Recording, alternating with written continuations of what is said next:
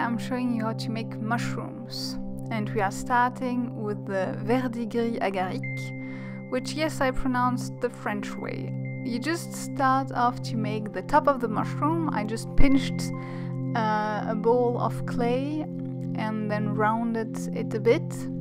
The bottom is completely flat and I'm adding tiny bits of white clay. You are kind of looking at something that is very similar to a red amanita mushroom, only in a much prettier color, right? So you then bake the top of the mushroom and then you add, after baking and cooling off, the bottom. And then you are adding some indents all around. I used here uh, the back of um, a blade, a scalpel, not a blade, a scalpel, but a blade would work as well, or even a needle tool or um, something that is pointy and very thin. And then I'm adding the, um, the foot. Do you say foot in English too? I should have checked that first. Anyway, I'm adding the foot and I'm texturing it after with the scalpel again or a blade that would work as well. And I'm adding some bit of color with some dark pastel. And I was working on a tree bark in bluish colors, so I added in on top of that. I didn't show how to make the tree bark in this video, but I'm linking up um, so you can see how to make tree barks if you want to know. And now we are making Mycena interrupta. Again, I, am not sure how to pronounce it right.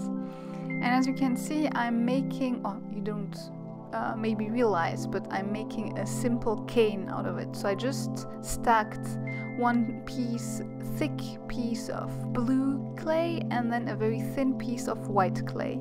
And I sandwiched it and I'm basically reducing it into a triangle where the white is on the outside and the inside is the thin blue. And I just reduce, cut in two, and then stack again, reduce a little bit more, etc. until I have a full round. The video pretty much shows what I'm doing. It's a very simple clay cane, not clay, or clay cane. Um, here you can see the final result that is quite similar to the Mycena interrupta uh, mushroom that I wanted. Then you simply reduce the cane, cut, um, slice, round everything out to make the head of the mushroom, and add some blue, cl uh, blue clay, blue paint, obviously on top.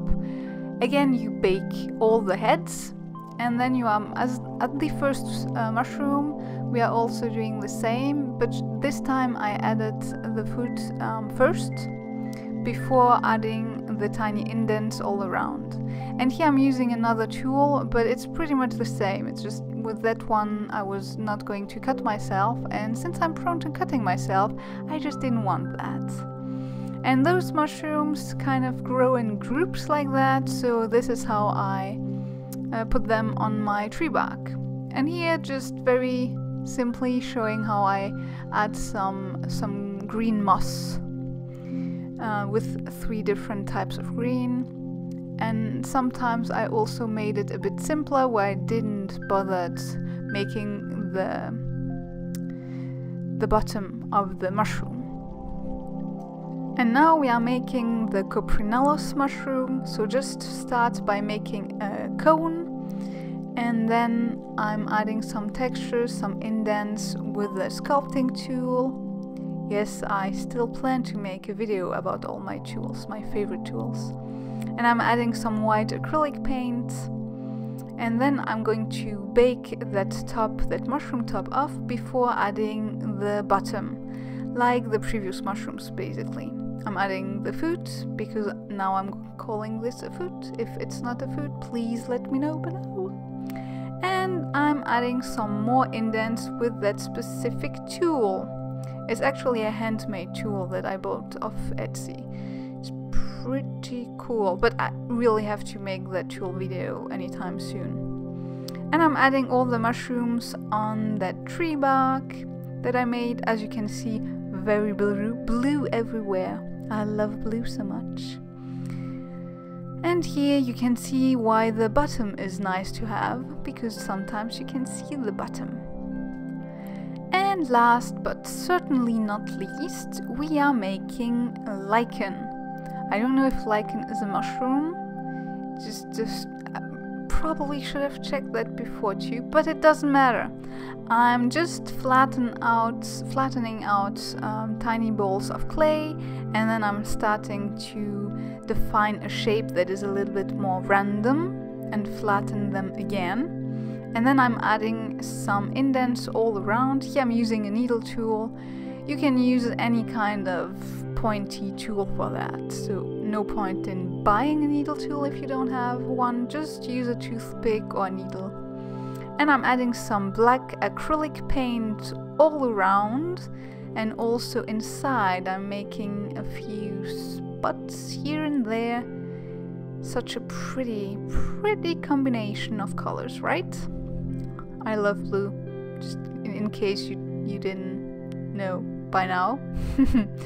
And then again on my tree bark I added some liquid clay before and then I'm putting the lichen on top. And I'm just pushing it down with a toothpick gently, always gently. And adding some, some moss all around so it, it looks a bit more realistic. Yes, and here I'm just uh, texturing the moss a little bit more and adding some darker paint to give it some more depth. And this is about it. I very much hope you enjoyed that video, even though I didn't show uh, specifically the tree bark. Um, you can, as I said before, I'm linking down below to the two other tree bark videos I have on my channel that certainly will help you to make your own tree bark and if you like this video, please give it a thumbs up, that would make me so happy. Maybe subscribe as well, and I very much hope to see you in my next video. Bye!